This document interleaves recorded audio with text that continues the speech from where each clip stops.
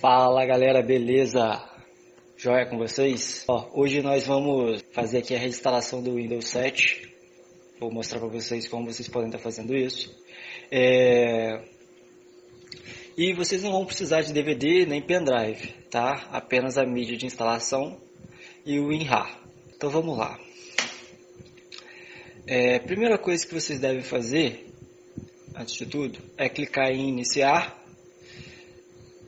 vocês vão vir aqui em computador, clicar com o botão direito, propriedades, e vocês vão identificar, na hora que abrir a janela, é, aqui ó, vocês vão identificar se qual é a versão do seu sistema.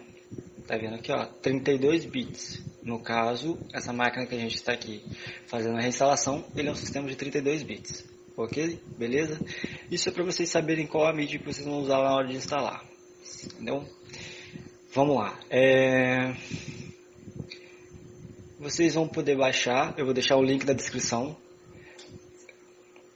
Eu vou deixar um link na descrição do vídeo, com onde vocês vão poder baixar aí o, o Windows 7, né, a ISO e o arquivo de WinRAR, ok? Lá vocês vão poder fazer o download. É, antes de tudo também, galera, eu queria alertar vocês o seguinte. A formatação é, do seu Windows, do seu sistema, do computador, você vai apagar todos os arquivos do dados. Ó, todos os seus... Perdão, você vai apagar todos os seus arquivos do computador. Ou seja, antes de prosseguir com esse procedimento, a orientação que eu dou a vocês é que façam um backup dos seus arquivos. Aí vocês podem escolher um HD externo, um pendrive, um DVD ou botar no, no serviço de nuvem, ok? E outra coisa, também é um processo demorado. É, você vai demorar aí só na formatação e instalação do sistema pelo menos uns 30 minutos, ok?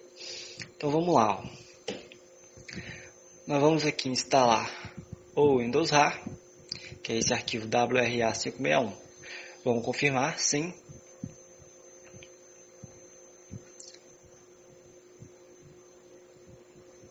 Vamos clicar em Install, aguardar. Ali nós vamos marcar a opção ISO e OK.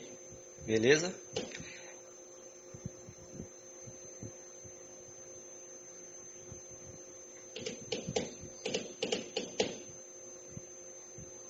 Agora vamos clicar em Done. Beleza, podemos fechar essa janela. Tá, vamos lá. Abrimos aqui o arquivo de mídia do Windows 7 e nós vamos executar o setup, o último arquivo aqui da lista.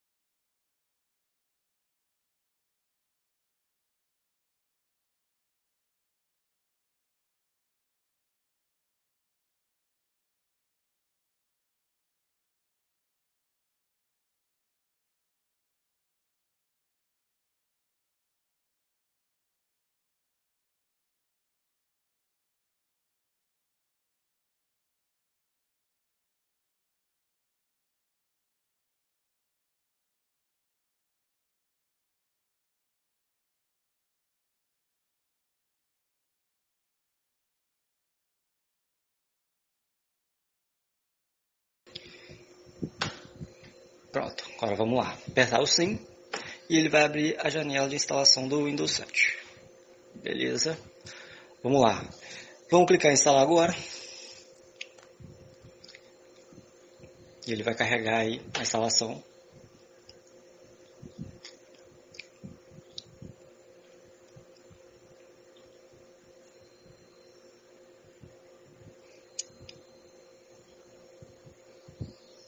Eu vou, eu vou ficar adiantando os vídeos aqui para ele não ficar muito longo. Beleza, galera? Vamos lá, ó. clicar em não obter instalações mais recentes para instalação. Agora é aquela parte que eu falei com vocês a respeito do 32 bits. Os x86 são, as, são os sistemas 32 bits, x64 são os de 64 bits. Portanto, se o seu computador for 64 bits, você vai selecionar a última opção dessa lista, que é o Windows 7 Ultimate da arquitetura x64. Se for de 32 bits, vamos selecionar esse Windows 7 Ultimate x86. Beleza? Vamos lá, avançar. Aqui nós vamos aceitar os termos da licença. Só marcar aquela caixinha ali, clicar em avançar. E aqui nós vamos em opção personalizada, a segunda aqui, beleza? Agora nós vamos selecionar a partição que está instalada no sistema. No nosso caso, por padrão, costuma ser sempre a letra C. Qual que está aqui, ó, disco 0 partição 2, que está com C2 pontos na frente. Vamos clicar em cima dela e clicar em avançar. Dá OK. Bom, a partir de agora ele vai começar a copiar os arquivos, vou fazer a reinstalação do Windows 7. É um processo que vai demorar um pouco. Vai reiniciar a máquina algumas vezes e vocês vão aguardar até a gente chegar na próxima área de configuração, as últimas configurações do Windows. E aqui a gente vai selecionar o layout do teclado, que é o ABND2. Beleza? E vamos clicar em avançar. Aqui você vai digitar um nome de usuário, pode ser Windows, pode ser o seu nome, pode ser casa, o nome de usuário que você achar mais interessante para você. No meu caso aqui eu vou colocar o nome do canal.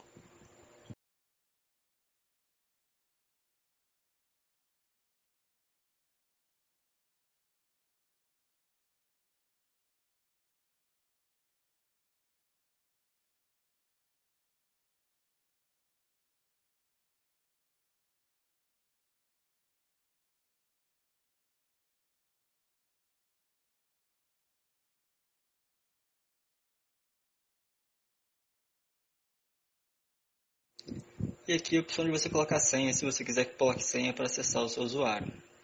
Não é obrigatório, se você quiser deixar em branco você pode, mas eu aconselho que ponha por questão de segurança, né? mas aí fica a seu critério.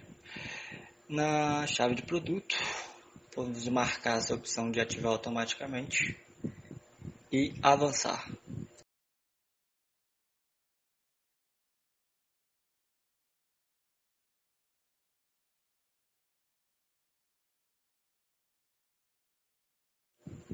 Agora vamos selecionar a opção perguntar depois. Aqui você pode conferir se a hora e data do seu relógio estão ok. Até porque, galera, é... se você tiver com a data do seu computador errada, é... a sua internet ela não vai funcionar, entendeu? Vocês têm que estar com a data e hora certinha do seu computador, senão você não consegue usar a sua internet. Beleza, agora é só aguardar ele finalizar aqui as configurações e a gente vai estar com o Windows 7 reinstalado do zero, ok? Então é isso, galera. Que, se você gostou do vídeo, dá uma curtida aí, se inscreve no canal para poder receber mais. E se você não gostou, achou algo ruim ou algo que faltou, responde aí também para a gente poder melhorar aqui o canal, tá beleza? Abraço, galera, até o próximo vídeo.